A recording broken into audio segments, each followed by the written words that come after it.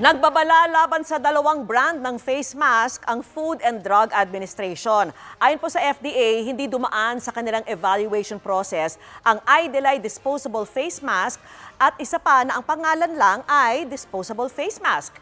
Hindi raw nila matitiyak ang kalidad ng mga ito, pati na kung ligtas ba ang mga itong gamitin.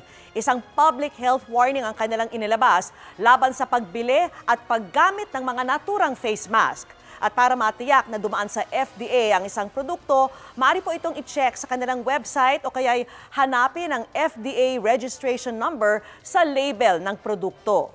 Sinisika pa po ng GMA News na makuha ang panig ng mga manufacturer o distributor ng dalawang brand ng face mask.